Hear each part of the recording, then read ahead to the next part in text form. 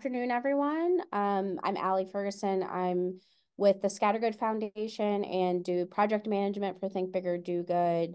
Um, we are here this afternoon uh, for the webinar Judicial Threats to Olmstead and the Americans with Disability Acts.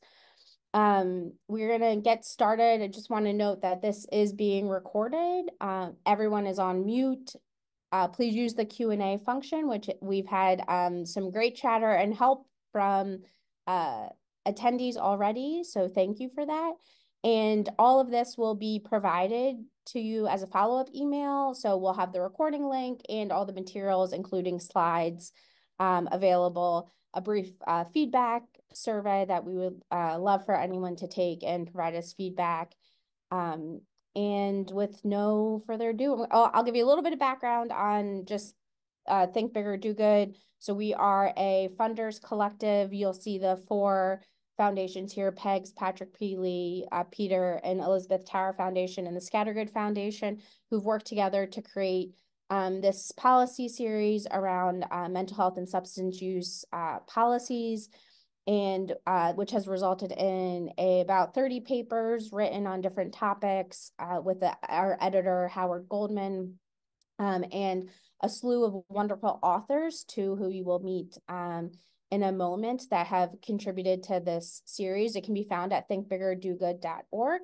And I also want to um, take a moment to thank Psychiatric Services and their partnership, which allows us to have a wider audience and benefit from uh, some of their editorial um, groups and advisory. And uh, we both provide, you know, have mutual uh, providing of content to each other. And it really makes the series, uh, takes it to the next level.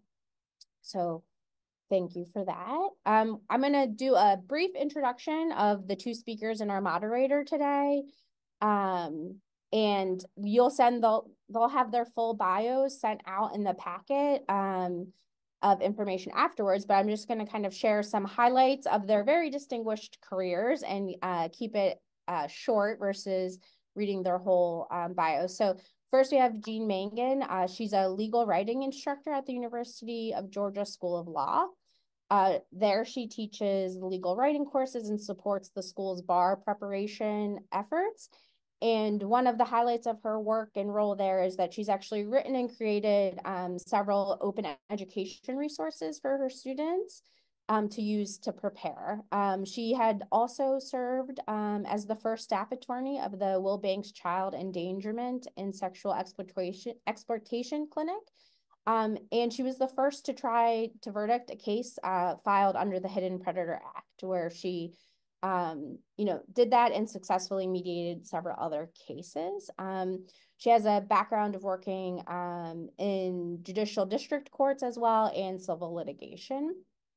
Then we have Andrea Dennis. She is the Associate Dean of Faculty Development and the John Byrd Martin uh, Chair of Law at the University of Georgia. Uh, prior to the University of Georgia, she was at the University of Kentucky and University of Maryland where she taught. Um, she'd been an assistant federal public defender in the District of Maryland as well. Um, and her scholarship explores um, criminal defense lawyering, race, criminal justice, criminal informants and co corroborators, youth advocacy, legal um, socialization of the youth in the cradle to prison, prison pipeline. And she is the author of a book, Rap on Trial, Race, Lyrics, and Guilt in America, which has received national attention and courts nationwide have cited the research on lyrics um, as criminal evidence.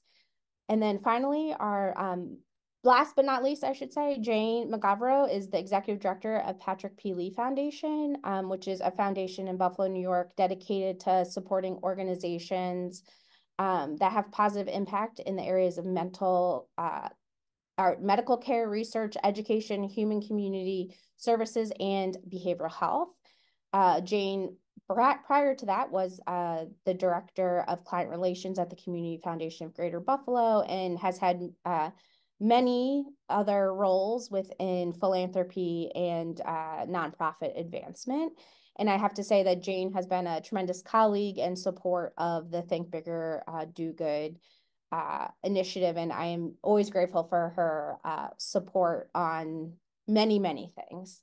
Um, so I'm going to hand it over to Jane and uh, let her take it from there, work on some of these tech issues, and uh, be pretty quiet in the background unless I'm needed.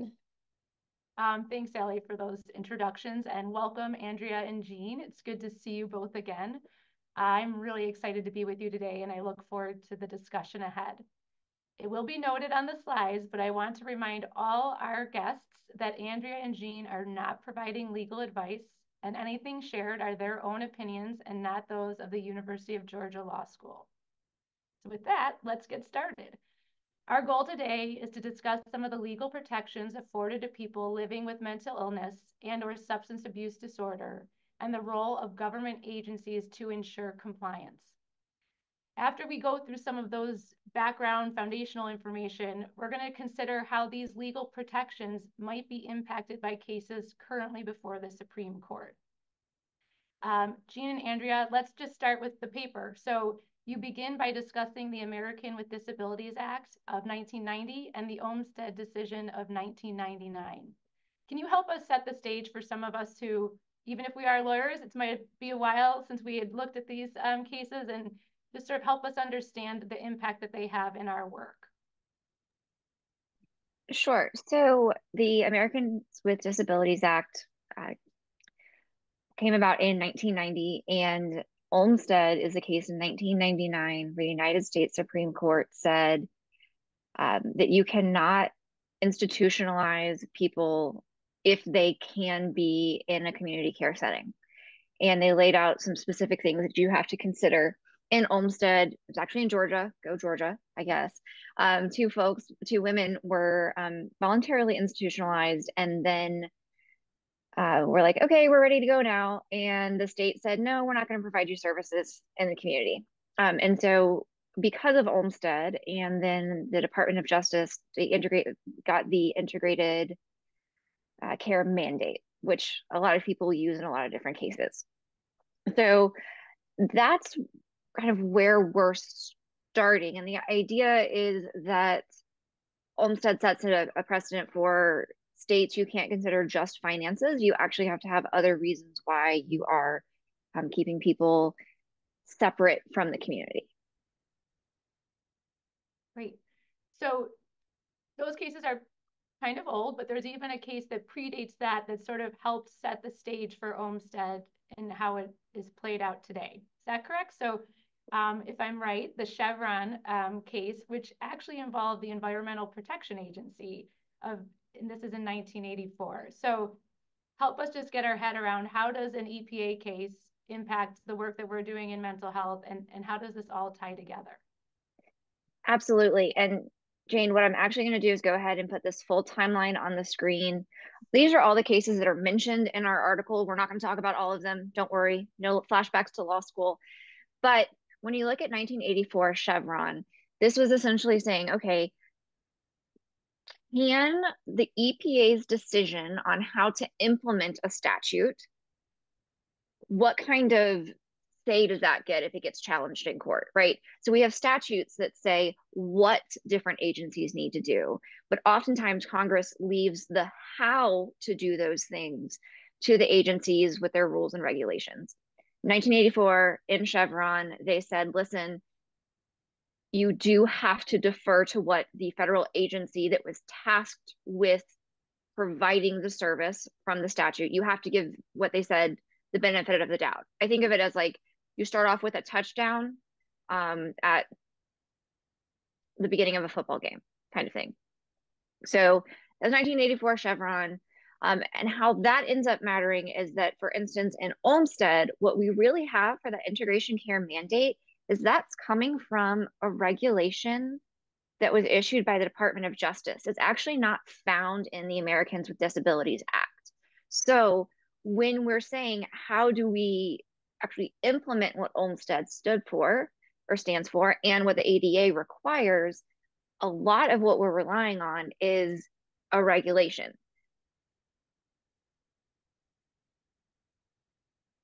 So, so that is really helpful in, in setting the stage. So Chevron happens, there's this deference to executive uh, administrative agencies to sort of help when there's ambiguity, right? So there's something unclear, they're going to help the community courts, agencies figure out how to actually enact it. But there's been, and I can see on this timeline, a lot of cases that maybe have have impacted how Chevron has has come into play. Um, so I don't know if you want to talk about um, some of these decisions that maybe have chipped away a bit or have have changed the sort of way that we are looking at Chevron. Yes, absolutely. So I'm not again not going to talk about all the cases. The blue cases are ones that have us address what kind of deference is going to be provided provided to agencies. And then our cases in red are cases that show how the Supreme Court, particularly recently, so you see 2018, 2020, and 2022, how they have looked at a statute and an agency's decision on how to proceed forward and what kind of guidance the United States Supreme Court or what kind of clarity they're expecting in a statute to decide whether they enforce it. So um, I'm just checking to make sure I'm not stepping on any toes here about how we're doing this. Um, so you'll see that in Bostock in 2020, that's a Title VII um, discrimination case. But what happens in there is that Gorsuch, who was writing, Justice Gorsuch, writing for the majority, essentially said the statute is so clear what we have to do here that we are going to say you discriminated on the basis of sex. That we don't have room to go somewhere else.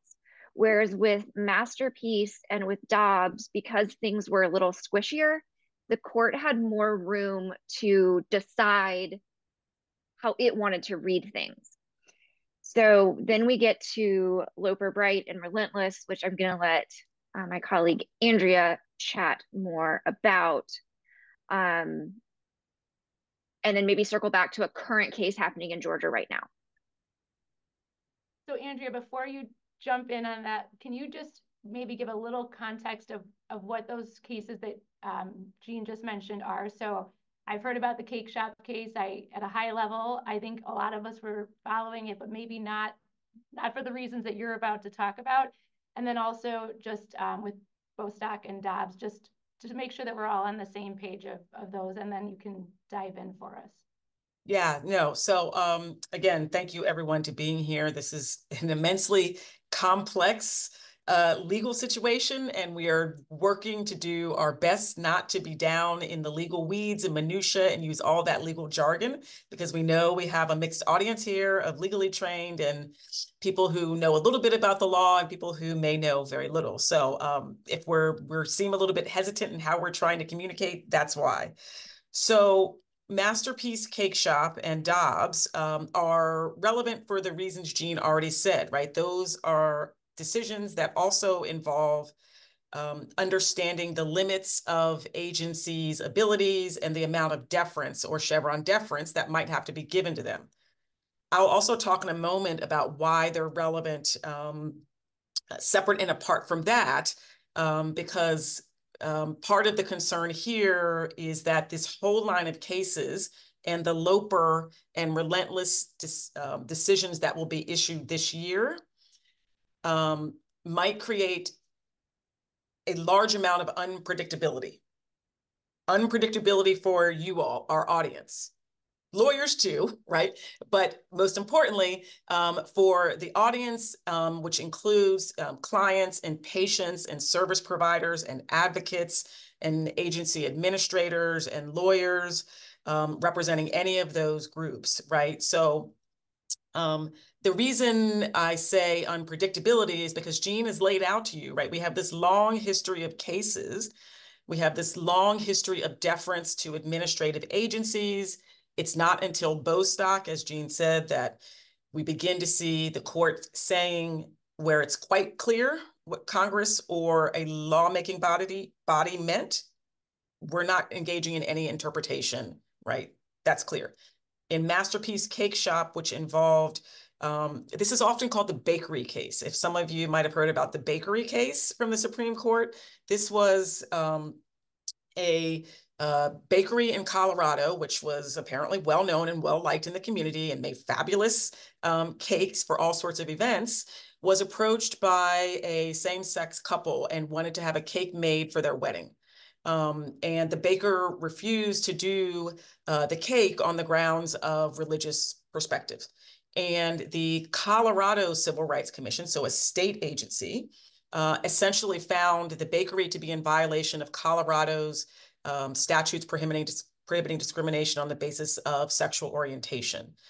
Um, and so the question became how much deference had to be owed to the Colorado Civil Rights Commission's decision.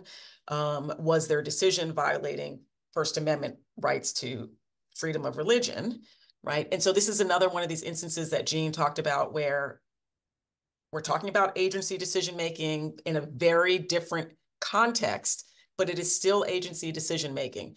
Dobbs is similar, and many of you have heard of this case, um, which concerns um, abortion uh, and reproductive access and Roe versus Wade, right? And so ultimately, what became presented in um, uh, Dobbs is whether or not Roe versus Wade was going to be overturned. And I'll talk a little bit more about that. But that's the context. And the reason we now are concerned is that Loper um, and Relentless, which are both before the Supreme Court, are specifically going to address this question of Chevron deference um, and right agency decision making.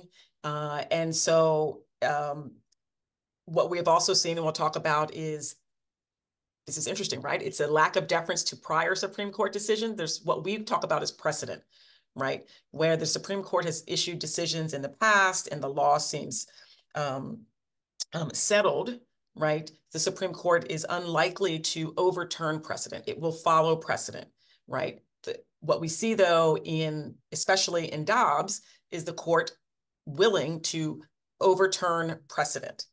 Uh, and so what that might mean in Loper and Relentless is that the Supreme Court will be willing to overturn Chevron. So deference to Chevron, right? So Chevron deference might go away in whole or in part. All right. So I think I'll I'll stop there, let everyone process that for a moment. And then I think Jane's going to come back in with a question and Jean might have something to add in as well.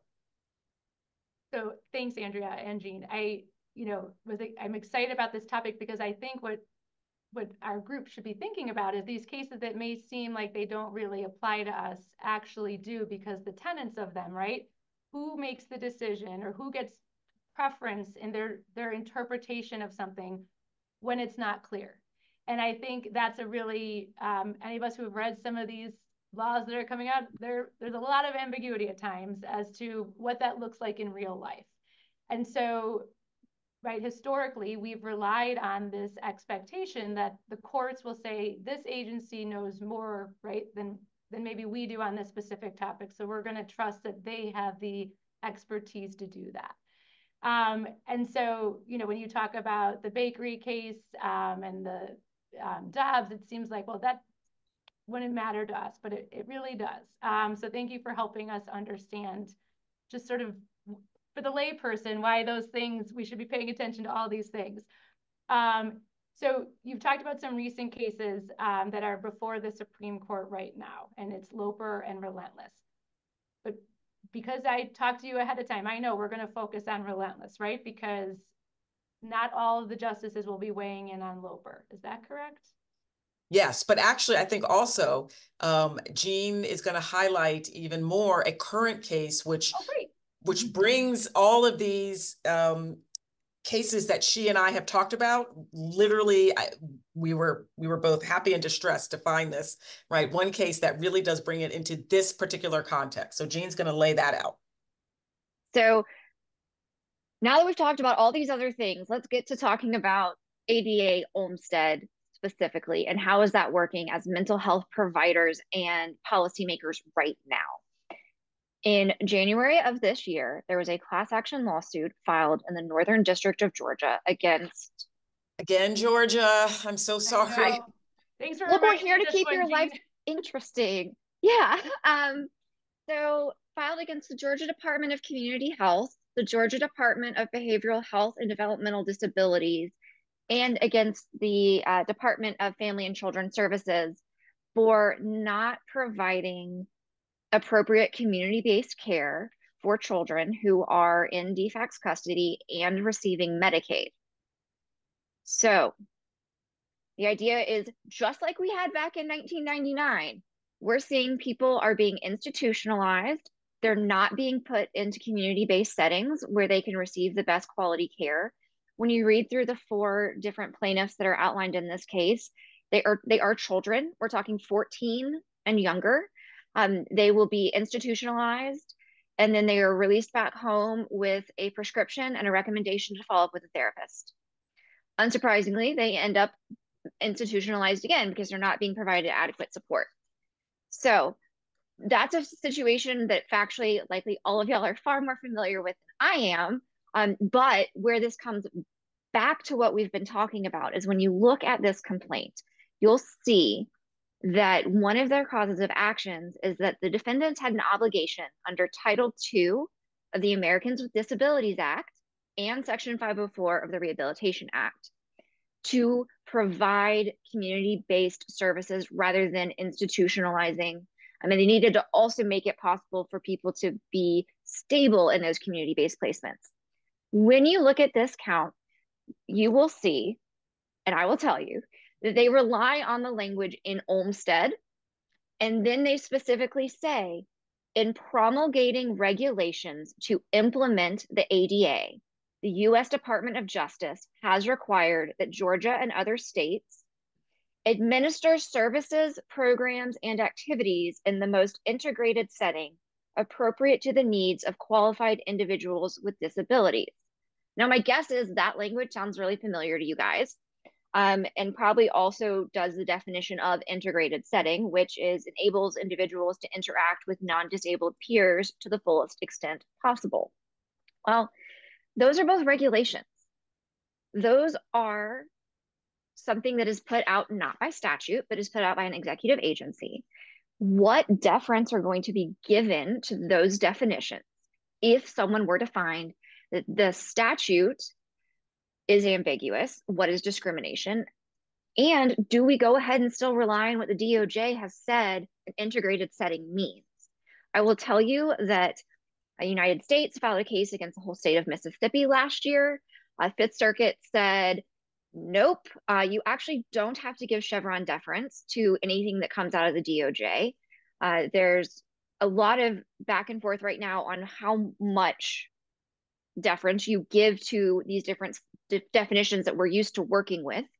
Um, and back to the how, right? So, as practitioners and advocates, your goal is how do we take care of people? How do we make sure they're accessing their mental health services? How do we make sure that they're being treated as full human beings, right? We rely on these regulations to tell us what we can and cannot do. But if the deference goes away in Chevron, it opens up the door, and we're already seeing knocking at this door of do we also allow all these other things that we've had since Olmstead to stay in place as being something we can rely on when we want to make states provide what they should?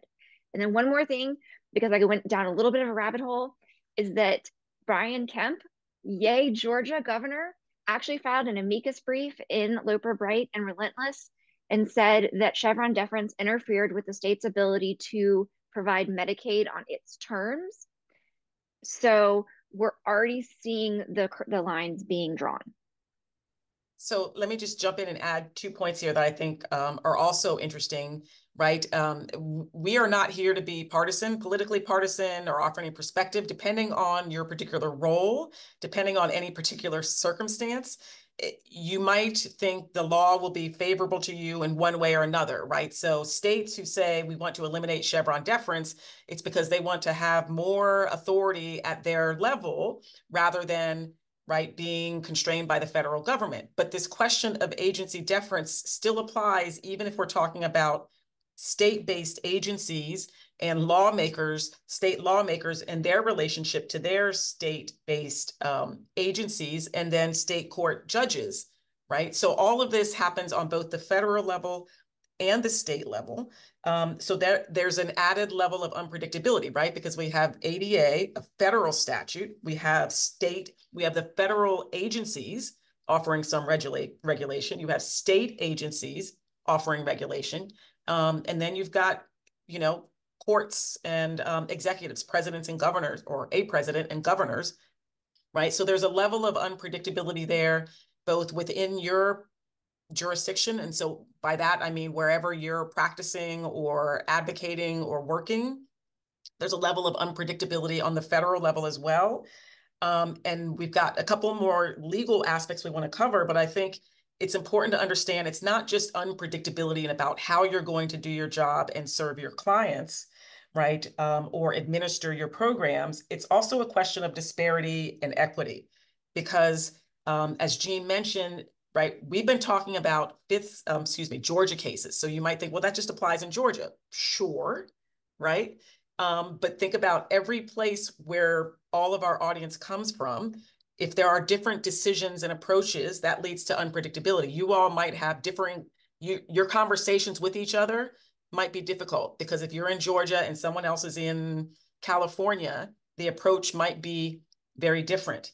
The other point, Jean mentioned the Fifth Circuit. She's referring to the United States Court of Appeals for the Fifth Circuit, so a federal appellate court, which covers Louisiana, Mississippi, and Texas, right? There are other circuit courts that cover other um, groups of states. So for us here in Georgia, it's the 11th Circuit, right? Folks up north, it might be the first or the second circuit. Out west, the ninth and the 10th circuit. Up Midwest, seventh circuit. And so all of those courts are also going to be issuing opinions, um, which means disparity, right, and a lack of equity, right? Again, because an individual in one jurisdiction might get the benefit of one level of treatment, right? as compared to someone in another jurisdiction would get completely different treatment. So we're talking legal unpredictability, administrative unpredictability, um, disparity and inequity between individuals or service providers across the nation. So I'll stop there. Yeah, so I think that's a great way to sort of lead into sort of so you're talking about current cases, you're talking about what's happening, you know, across the different states. So the Supreme Court, right, just heard arguments around, and we keep talking about relentless and Loper, and we'll we'll give a little more context, I think, on those. But um, they just had the oral argument. So when we say that this conversation is timely, like, and Jean, thanks for reminding me about that Georgia case. You had mentioned it, and then I got New York focused and forgot all about it. So that's, but it really, it's affecting all of us at the same time at different places, right? So so what does this mean? So now that there's a case in front of the Supreme Court and it's it's relentless, and you even um, in some of your slides, I don't know if you want to get to those yet, but talk about the sort of composition and how the court, the Supreme Court has changed and why some of these cases like Chevron, right, 40 years old, should be settled law, we would think, you know, aren't. And so I don't want to jump ahead of where you want to be in the conversation, Andrea and Jean, but like I thought it was really interesting to see just sort of the evolution of the court. And again, not in a partisan way is the conversation, but just understanding how the mindset has evolved um, as they approach these decisions. Oh, so you're muted, Andrea. Thanks. Thank you. Um, yeah, so Jean and I, we were joking, we had fun. This is this is arts and crafts for lawyers, right? How we could make this visually um, appealing and informative, right? And so this slide does a little bit of what Jean has done with the timelines, but now it's focused on um, essentially uh, who was the president or who was the executive at the time, for example, of the ADA, right? Enactment in 1990 by Congress, right? And then, so I'll just, I'll just start there, right? So on my screen left and hopefully your screen left, you see, right? It was, the ADA was passed under um, President Bush, right? Bush one, right? Um, and it was passed by um, overwhelmingly, right? So overwhelming bipartisan support, right? 377 to 28, right? So overwhelming support for enactment of the um, Americans with Disabilities Act. And so I'm starting there because that's the core statute that we're all dealing with, right? Remember, Chevron came prior to the ADA, right? And so um, the top graphic represents how the justices voted in Chevron. So again, remember Chevron's our EPA case, EPA administration, right? And so at the time, this was the composition of the bench. Those who are um, their picture is bright and you can see them clearly voted in the majority, and those whose pictures are shaded out voted in the minority, right? Um, and in fact, though, there were several justices here, I think, um, who might not have been um, permitted to vote uh, to participate in those cases. But so it says unanimous decision. Um, so these uh, six justices agreed, right? The other justices would have had to recuse themselves for some reason. But so they voted, right, in favor of Chevron deference. So bottom is Olmstead, right? Again, this is our um, Supreme Court interpretation of the ADA in requiring uh, or prohibiting agencies from only looking at finances to determine placements, requiring community care over institutionalized care when appropriate. So now you see there's a change in the bench, even just 15 years later, right? So again, just a reminder, right? Um, uh, the justices whose pictures are vibrant voted in the majority, and then those whose um, pictures are shaded a little bit voted in the minority. Um, and so you see here, you can you can just see, right? You've got added to the bench 15 years later. You've got Thomas, right? You have Ginsburg. Um, who else is notable here? Uh, I should have a bigger screen here, bigger view of this. Scalia. Yep. right. Um, so what we wanted to begin to suggest here, and it got left out of the paper, we had word limits, we thought this was a great part. So this is why we're explaining it to you here, right? Is to understand, right, the this is the point that this is not partisan, right? At least from our perspective, right? Um, there was significant agreement that the ADA should be enacted, right? There at in light of an understanding Chevron deference, which had already been decided, right? Olmstead comes along and reinforces ADA and that the Department of Justice can would be allowed to administer to offer regulations, which it did. All right. Um, okay, so fast forward one. All right, so then the question becomes if we fast forward to what's happened recently, and remember we talked about Masterpiece and Bostock and Dobbs and how they, right, um, offer this possibility that the Supreme Court will reverse its opinion on Chevron deference, so deference to agencies. The question is, again, why might that be? Masterpiece does talk about agencies. Bostock is about agencies, right? Dobbs is about state authority. So Masterpiece, we've seen uh, now a major transition. Now we're talking 20 years after Olmstead, a major transition in the court right? Now you have Sotomayor, Ginsburg's still there, right? Um, you have uh, Kagan is new, right? You have Roberts as the Chief Justice is new, Gorsuch, right? Alito, Thomas is still there, right? So in Masterpiece, remember the bakery case in which the Supreme Court, right, said that um, the Colorado State Agency, right, which found that there was discrimination, right? The Supreme Court reverses and says that the free expression rights, the religious rights of the baker, essentially, for lack of a, a better way to phrase it, right, are paramount, right? The baker cannot be forced to make a cake for the same sex couple. The state agency cannot force them or penalize them if they don't do that, right? So major shift in the court between the time of Olmstead and Masterpiece. Major shift from Chevron to Masterpiece.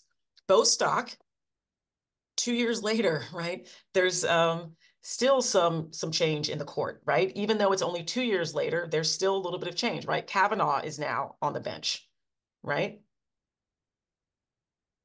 Yep. And so he's the the newest the newest member, right? And so in Bostock again, right? Um, the Supreme Court, right, is saying essentially the legislative um, Congress's uh, enactment was clear, so that is paramount, right? So this is the where we begin to see if there's no ambiguity in what Congress or your state lawmaking agency, I'm sorry, state lawmakers, legislative body have done, the court has to full stop. All right. So two decisions within two years of each other. Then you get Dobbs. And again, right, this is the abortion case, right? Whether or not Roe versus Wade is going to be overturned, right? Um, and so here you go, right? Six to three, right, to overturn.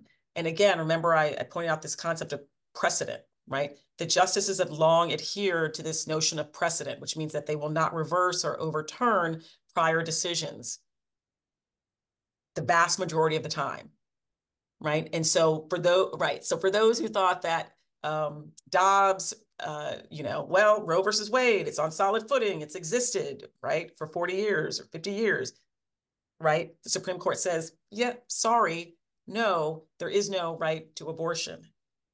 So what this is about is not about abortion. This is the willingness of the Supreme Court to reverse prior decisions. And so for us, that's reverse Chevron, right? Maybe when it happens, it's already trickling up, reverse Olmstead, right? So even a significant change in the court can be a factor, right? So now you have the current um, bench, which has changed again, right? And only a, a, couple more years later, right? You now have Ketanji Brown Jackson, Amy uh, Coney Barrett, right? New, right? Um, and so the question is now, when these issues of Chevron deference are directly presented, which is what the Supreme Court's going to decide this term, and in the future, if when issues about Olmstead are presented, how will the court rule? So um, what actually happened, I think I should have flipped these, right? So Loper was, uh, uh, the court's willingness to hear Loper was granted first, right? Um, and then along comes what we call a companion case. Someone filed the case in Relentless, asked the court to hear that. And the court said, okay, great, we're gonna hear Loper and Relentless. They're on the same issue, which is what will happen with Chevron deference, right? And so um, they're both have been argued together and we'll tell you where you can go if you want to follow what happened there. Um, Justice Ketanji Brown Jackson can participate in one and not in the other. That's an interesting circumstance. I will let the Supreme Court figure out how they work that out, right? Um, but she was sitting on a lower appellate court at the time of Relentless, right? So she is recused from Relentless. No, the other way around. Yes. Okay. Jean's got me. Okay. She was recused from one of them. There you go. We'll just, the point is she's recused from one of them, Loper. She will not issue a decision. She will not vote in that one, she will vote in Relentless. So again, whether those have the one opinion, same results, or two different opinions, we can't predict. But so it's interesting to think that she's on one, not on the other. The bench has dramatically changed in the last, well, since since 84 right? And so what does that mean? And what we would say here is, while much of the conversation in the country is about um, the Supreme Court and its legitimacy and the partisanship or the lack of partisanship and the political ideologies, right? There's also a question of legal philosophy and approach, which affects how the justices might decide. And so we're not going to wait, we're not going to like laden you with conversations about legal philosophy and methodology um, but just understand it's not simply about partisanship politics. It may also be about legal philosophy and methodology and approach as well. So I, I'm sorry, Jean, anything else to add? I, I think I've covered, I think I've tried to cover the big points. We have to leave time for questions too. We still do have one more slide and Jane's got more questions. I'm going to let Jane go. I'm sure. Yeah. No, I, so, so I, you know, really love the sort of history and how the court has evolved and why this does directly uh, impact all of us. And I will admit to have listening, I won't say I listened to all the oral arguments because that would be disingenuous, but I did catch the highlights. And um, to your point about it not being partisan, what was interesting is um, Justice Barrett actually said, if we go forward with what you're proposing, what would that mean for these previous cases? Like all this, all these cases that have been decided based on Olmstead and based on um, the reliance of these, you know, agencies sort of having um, deference. And so I think it is in the back of their minds that there, there will be big implications for this decision. It's not just about, right, the case before them. It's how will, you know, what would that mean? And she said there could be a flood on, on litigation. There could be like the courts could be overwhelmed. And so um, it is far reaching, you know, these cases that are before the court right now. And um, you know, I don't know that it's clear maybe if how far they would go, or maybe it will just kind of chip right away at some of these things that we're relying on. Right. Which... So also to, to reinforce Jane's point, yes, the court could completely overturn Olmstead um, I'm sorry, not Olmstead, sorry. Woo, woo, woo, woo. No, no, delete that. Everybody delete that from your memory right now. That's not presented. The court could completely overturn Chevron or, right, chip away at it, roll back, which creates also a level of unpredictability, different unpredictability, but that's still problematic. So whether they overturn Chevron or chip away at Chevron, whether they issue a new standard, whether they go back to an old standard, all of that creates a level of unpredictability, potential um, inequity and disparity. Yeah. So hopefully no one's panicked sitting on this call, but we are really concerned about what we can do and what as advocates and family members and community members, like, you know, what advice would you give this group as to to how to maybe, you know, codify um, some of these these principles that we've relied on um, that, you know, may or may not be around um, in the future. Okay, um, so we've got, I think, some advice um, here. These are what we think are relatively right um, accessible. I won't say easy, but they are right. Everyone here can, do one of these. Um, and maybe if there's a question or time, you know, uh, Jean or I could talk a little bit more about litigation, but we're we're not even going in that space right now, right? So if you want to just keep learning, right? So screen left, right? Publicly available. You can go to supremecourt.gov and you can find um, oral arguments, particularly from Relentless and Loper, if you want to listen to them. You can find transcripts if you would rather read a transcript, right? Um, you can find all the briefs, not only the briefs that were filed by um, the, the litigants in the case, but all of what we call amicus briefs, friend of the court briefs. So eh, lots of other organizations um, weighed in. So if you really want to dive down um, a rabbit hole because you just want to learn more about the Supreme Court, you love the Supreme Court, um, you can go there. SCOTUS blog um, is a uh, is not a government entity, but it is reliable, right? It is a reliable entity that we in the legal field will look to.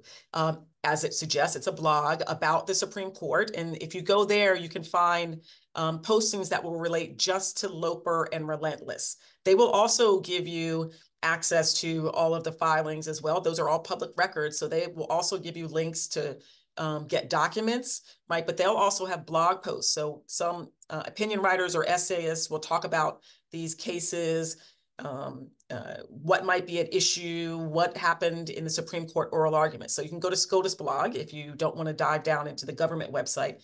Oyez.org or oye.org is another um, organization. This is um, uh, more of a nonprofit educational um, uh, organization. And it's a cool website because you can go there. And again, um, in a very, in a much more, even more accessible way, we'll give you a quick, you know, this is the issue in the case. This was the holding in the case. And those lovely graphics we pulled about how the justice voted, those came there. Um, and so you could even dive down into some of the other cases that we looked at. Um, you just put the, the name of the case in that you want, um, depending on when the case was decided, it will give you um, oral arguments. So there, if you want to just keep learning, right? Um, I'm going to go to the middle here, consult legal counsel. Many of you probably have access to, whether it's because they're in your agency, um, so you have agency counsel or you've got um, outside counsel for any um, um service providers or not-for-profits, um, or maybe you have inside in-house counsel. Talk to them if they're not thinking about this, you might want to just poke them and say, hey, have you been thinking about this and following along? Because I just heard this webinar and this could be a problem. So make sure it's on their radar. Um, and in particular, if you work with the agency and you need to actually consult them for legal counsel, you should do that. That's part of their job. Um, right? So we can go sort of, right, identify and elect supportive lawmakers. So I do, it's important to identify and elect, right? Identify means, right, whomever's going to be up for governor or judge judges, right? Um, uh, whoever gets to make those appointment of agency heads, right? Um, lawmakers, legislators, whoever gets to enact laws, right? So, and I'm talking all three branches here. Identify people who are running, ask them questions, right? Send them questions, figure out where they might stand on this issue, if they even know about it, right? Um, and then, you know, vote, right? Vote consistent with whatever you think is supportive for your particular perspective. Um, you can also lobby lawmakers. So those elected officials already seated, right? You can call them, you can write them a letter or an email, right? If you are in a position where you you could be asked to give testimony, right? Please, right? Um, give give testimony. They need input to hear from people on the ground, right, about how this might work and how this might affect on the ground. Um, they otherwise may not know that, or you don't want them to only hear from certain um, constituents and groups and not others. Um, and then if you're in an organization that can write a white paper or a report, right, that can also be sent to lawmakers. Um, and so we're all permitted to do that. Call, email, phone, write, testify, if called to, walk the halls, all those things. And then the last one is educate and ally right? So again, along with these, right, with different ways to self-educate and figure out what's going on, right? You can ally with organizations. I know um, it might seem overwhelming, like, right? How do you even get your voice heard in this context when there are so many different issues and agencies and people? Um, and so your organizations or entities can ally with other organizations. And so I've I've identified um, several here. The one thing that might have become apparent, but was not set out right, is in many respects, this is also a civil rights issue. So it might be a disability issue, but civil rights organizations are also particularly concerned here as well. Those are the ones who, right, right, and enforce compliance with anti-discrimination statutes. So they're involved in this.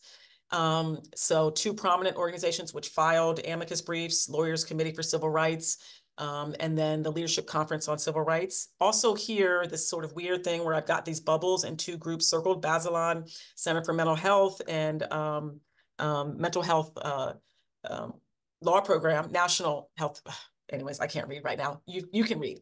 Um, if you're familiar with them, great. If you're not, right, among a group of health providers, health focused policy organizations, they filed briefs when we looked through who filed all these amicus briefs, this was the only one I could find from healthcare, people in broadly in the healthcare um, field. And, you know, I highlighted the two that are particularly focused on mental health.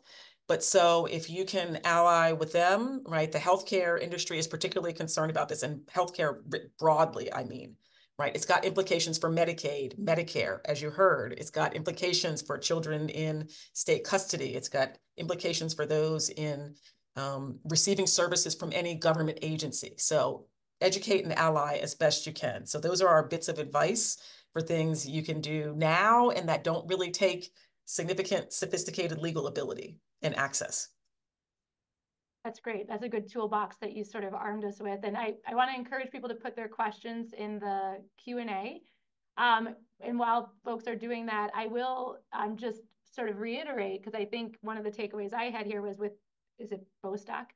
When it was clear, when there was no ambiguity, right, they're going to follow what the statute says. And so I think encouraging our lawmakers to to try and wordsmith and be as as precise and um, you know exacting as possible could help remove some of these concerns that we're seeing things play out in the courts, right? So as much as that's realistic, I think maybe that was sort of a, a bright spot um, in all this that you know, the courts can't override what is explicitly put put in the statute. So um, we have a question um, from Mark. If the court ever revisited Olmstead, um, sorry, just pull it up. Um, what do you think the impact of homelessness, homelessness in society would have on any legal decision of the court, assuming a general agreement that some homeless individuals suffer from mental health issues as well? Jean, you go first. I have I have a thought. This is a great one, so. this is a great question, Mark. Um, but so Jean, you go first, and then I'll weigh in. Uh, yeah, I would just say that I think that the way that this court would actually look at things because they like to read very strictly. They want to see the black and white. Where is it written? Um, something to keep in mind is that you're not required to put people in community care settings if they don't want to be placed there. Um, they do, people do get to have a say as to where they go. And so, Mark, to the extent that your question is about, you know, is institutionalization the best option for those who are currently currently experiencing homelessness? Um, then that would be a different question. I mean, Olmstead really was trying to say that look, just because you had someone in an institutional setting doesn't mean you can keep them there, particularly when a provider is recommending that they can leave and they themselves want to leave and there's somewhere for them to go and there's community-based care that can be provided.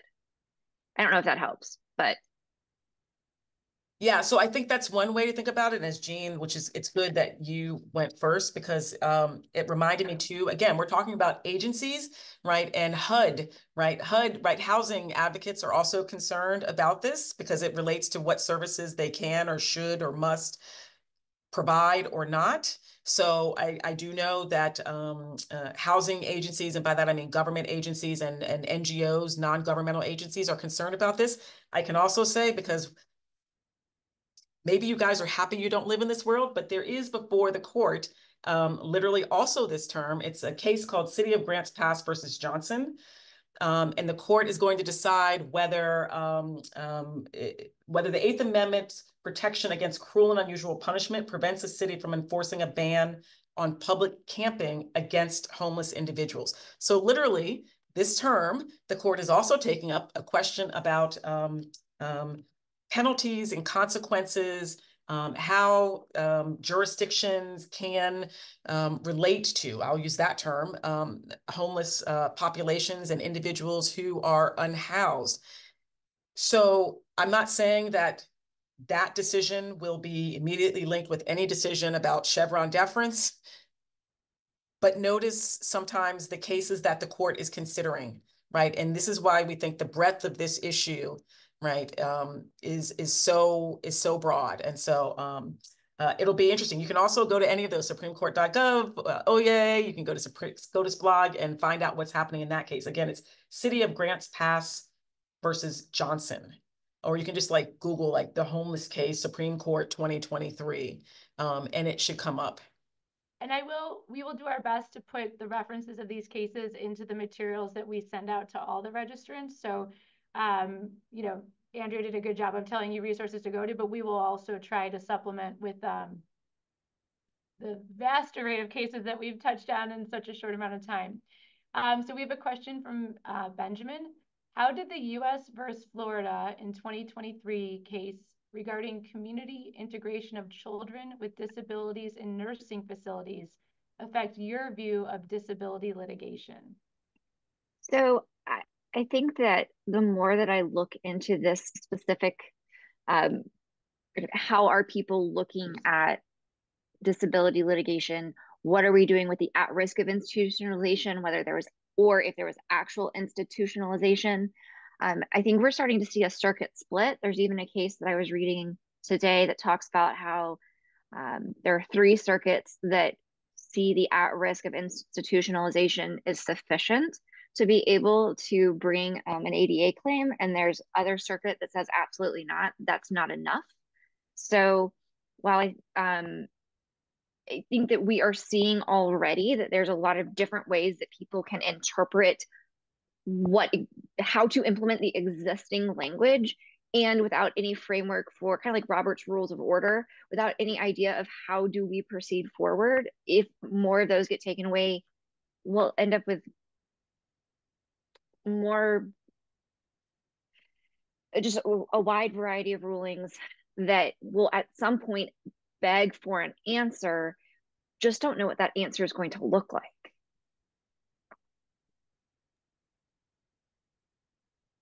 Andrea, did you have anything on that one or did Jean cover it? Yeah, no, I think Jean covered it all. And I just, as she was talking, I come back to my unpredictability. I, um, I do think there's going to be a lot of litigation as the question was asked during oral argument, the Supreme Court actually is concerned about right uh, destabilizing the law such that it becomes uh, um, uh, both an administrative but also a judicial nightmare, to use a lack of a, a better term. They actually are concerned about that um, as one of their practical. But this is where I said, right, different philosophies, legal methodologies, right, come in, legal policy, right? That is something that they also are concerned about. They don't want to, they don't want to open a floodgates that might eventually then just come back to them, you know, two years later, 10 years later. So that's a concern. So I think disability litigation is going to increase. It's going to be far more, I actually think it'll be more complex than it has because there's ha going to have to be so much expertise about all of these other decisions.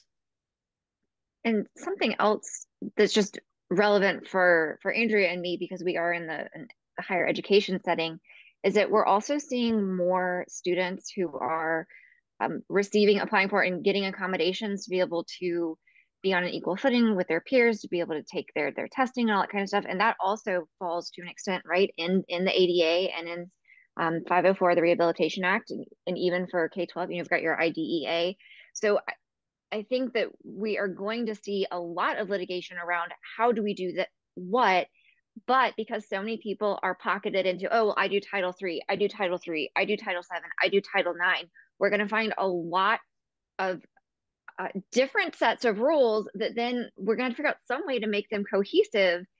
And we may find it will be a lot more difficult because we've been so siloed which is another reason we're really mm. trying to encourage folks to talk to each other and be aware of what else is going on. This is the ally, right? Because right we're concerned about higher ed right there are people who are concerned about k-12 there are people who are concerned about employment so this is why i said also these groups the civil rights groups writ large right who are less wed to a particular context or a particular legal hook but just broadly about civil rights and individual rights that's another space to look at for for allies. Yeah. I think, you know, and we're nearing time, but I think that's a great way to sort of to end too that we we do sometimes get siloed in our work and we maybe need to stop, you know, viewing it in such strict parameters because just like today we've talked about the EPA and the First Amendment and that in all these cases are are touching our work. And so um, sort of taking a step back, seeing where we have allies across the sectors, I think is going to be really important. And um, I think you began and we will end with like the unpredictability of things right now. So there's a lot happening. I mean, when I told Allie like this is the most I just listened to the oral argument like snippet and like it, it was so timely. And so I want to thank you both um, for helping us try to get our head around it. I would strongly encourage anyone on the call um, read the paper. It's available at thinkbiggerdogood.org because um, it really, you know, they dug into some specific things here, but it provides a more comprehensive sort of, you know, viewpoint and it's very approachable. So you don't need a law degree to read that paper and understand sort of the implications to your work um, and to our communities, right? So um, I don't know if Allie has some parting words for us too, but I, again, Jean and Andrea, this was a complex uh, topic to take on and um, even looking at your slides, I, you know, law degree, you know, doesn't matter. Like this was just a lot to to take in. So I think you guys did a great job of helping us um, have it resonate, you know, for any any job out there, any sector out there. And so um, thank you both really for your time. Thanks great. for having us. Yeah, so I was just going to echo Jane's um, appreciation and thank you both and Jane for moderating moderating as well.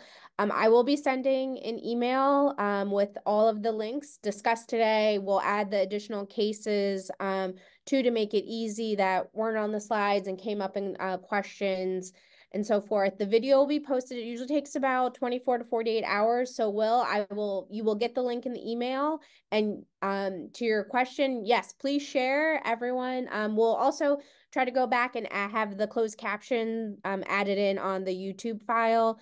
Um since we were having a glitch on that and sounded like from Zoom the only way I could do it would be restart the whole thing and I didn't want to risk that. So I apologize that that um did not come off flawlessly. Um, and we will be in touch with uh, all of the follow up materials. And uh, please feel free to reach out if you have any questions in the meantime.